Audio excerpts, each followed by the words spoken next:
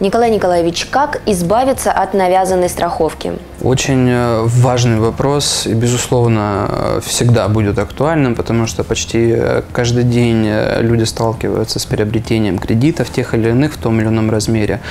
И при приобретении кредитов возникает такая проблема, как предложение якобы добровольной страховки. Страхование жизни, дома, собаки, без разницы, чего угодно. Что необходимо в, в этих ситуациях делать?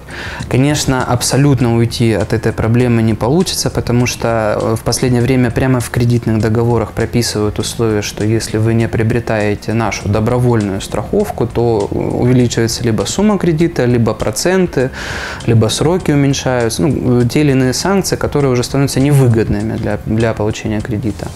Поэтому люди вынуждены подписывать такие договоры.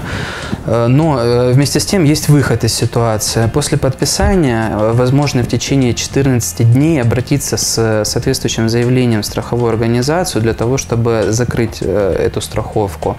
Не позже, потому что позже уже будет гораздо проблематичнее. А именно вот этот период, он называется Банком России период охлаждения, когда потребители имеют право вернуть страховку с наименьшими потерями. Что необходимо сделать? Необходимо желательно обратиться к профессионалам, к юристам, адвокатам, которые помогут грамотно составить это заявление, потому что в последующем, если это заявление э, будет использоваться как э, письменное доказательство в суде, то оно должно быть уже правильно оформленным в суде непосредственно. И необходимо Э, также учесть, что чем позже человек будет обращаться за возвратом страховки, тем, конечно, меньше он сможет получить, потому что в этих же договорах страхования прописываются условия, что они начинают действовать с момента, когда человек подписал страховку. То есть желательно сразу же непосредственно на следующий день идти к профессионалам и возвращать страховку. Чем дольше тянете, тем меньше получите.